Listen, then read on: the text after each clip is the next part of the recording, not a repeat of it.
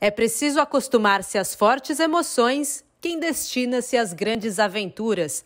A frase extraída do romance As Ligações Perigosas, de Cordelos de Laclos, serve também de enredo para aqueles que pensam em investir em Bitcoin.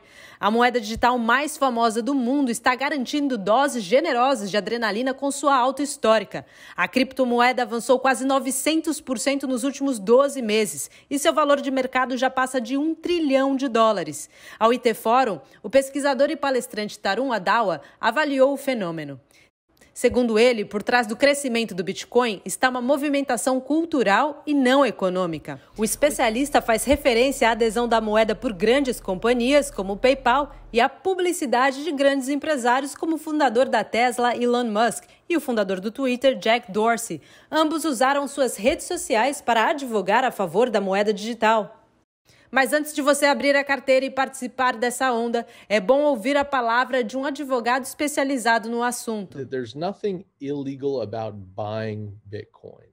Where I would caution people, and again, it's difficult to give legal advice, you know, so to speak, that's sort of a blanket, but there are a lot of fraud schemes out there where people are being tricked into thinking that they're buying Bitcoin or some other sort of cryptocurrency, when in fact it's just a fake exchange where people again think they're buying something and it turns out the exchange is just somebody that's created a website that makes it look like you're buying crypto.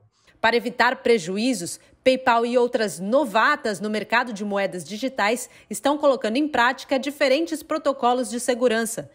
Em alguns casos, por exemplo, não é possível transferir criptomoedas de uma carteira digital para outras. Apenas adquirir novos bitcoins ou outra cryptocurrency, como também são chamadas. Mas se por um lado a segurança do sistema parece garantida, por outro, tudo também parece bastante frágil. Isso porque, segundo economistas, o Bitcoin já experimentou outras altas no passado, em 2011 e 2013.